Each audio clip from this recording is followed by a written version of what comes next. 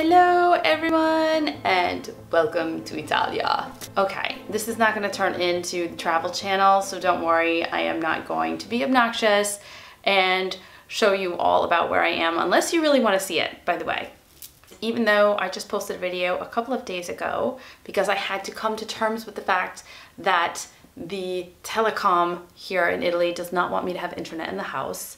So I needed to find another way to upload videos. So there's an internet cafe that's only about three quarters of a mile away and I think they're really sick of me and they cannot figure out why all I order in a bakery is bottled water, but there is no gluten-free focaccia at this point in Liguria. So until there is, I will be ordering my bottles of water and uploading my YouTube videos. Today's topic is on something that I actually wrote an article about on a really great website called trailsisters.com. The article came out last month and I'm going to link it below so you can check it out. If you are a female athlete, a runner, a trail runner, an outdoorsy kind of gal, or if you just like the idea of all of those things, you can find a lot of really great articles there from like-minded women. The topic for that article and today's video is something called Red S relative energy deficiency in sport. Relative to the energy expenditure,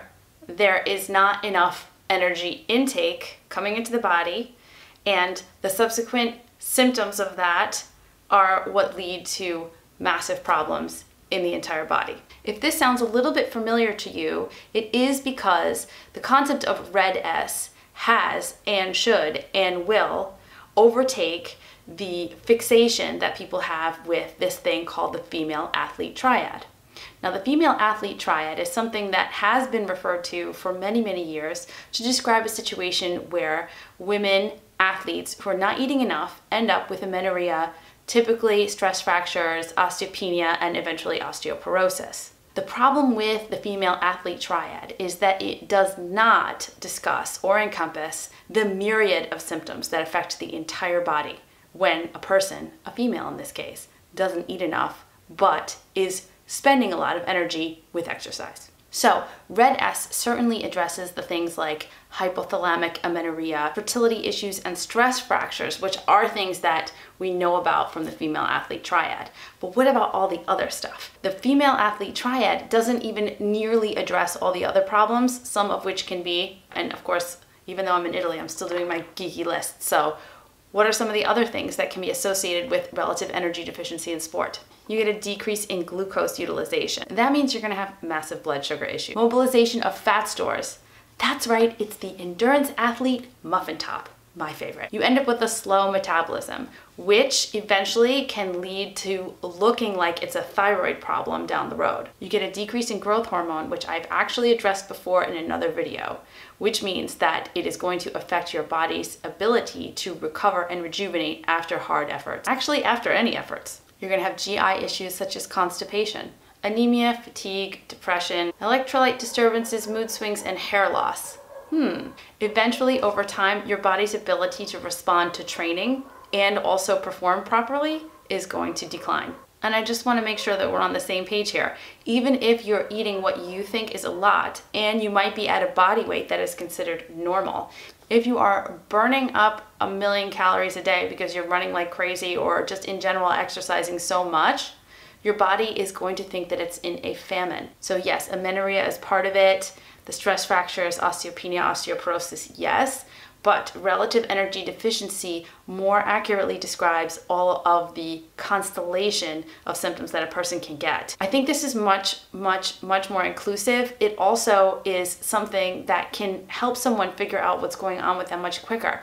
For example, if you think to yourself, well, gosh, I'm a amenorrheic, but I certainly don't have any stress fractures, and I had a DEXA scan, and I don't see anything like osteopenia happening, but gosh, why am I depressed and I have anemia and I don't feel good and I'm so tired? Well, if you're actually only looking for the female athlete triad as the explanation for what's going on with you, it doesn't include all of those things. The person responsible for this hypothesis and all the research about it is a woman called Margo Mountjoy, and she is she has a million letters and titles at the end of her name, so I can't even give you all of her credentials, but I'm going to link below a presentation that she gave a while back Her information and research has been found to be so important that the International Olympic Council actually updated their papers to more accurately describe what was happening to athletes and offer advice on how to handle it. In 2014, they updated their documentation to read the following. Syndrome of Red S refers to impaired physiological functioning caused by relative energy deficiency and includes but is not limited to metabolic rate, menstrual function, bone health, immunity, protein synthesis, and cardiovascular health. So since then, the IOC has changed all of their documentation to talk about Red S and not the female athlete triad. Now, I'm not going to get too deep into this because it's way over my pay grade, truthfully, but there is evidence to suggest that it's not just women that suffer from relative energy deficiency in sport, and men also have symptoms and problems associated with the same thing. I mean, it's logical. It stands to reason that the human body is not designed to be in a constant state of caloric deficit for the output of energy. So eventually, you're gonna have problems whether you're male or female.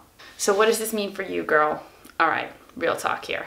If you were trying to ignore or trying to push away the problem of your amenorrhea by saying, but wait, I don't have the other part of that, and the female athlete triad does not extend to discuss all the other problems I have, you can't do that anymore. We actually have a name for something that potentially could answer why you're not getting a period. And as much as I hate to use the word easy because it's not easy, but it's much easier to design a plan for your recovery from amenorrhea when you understand that it comes from something very specific. And that very specific thing is a deficiency of energy.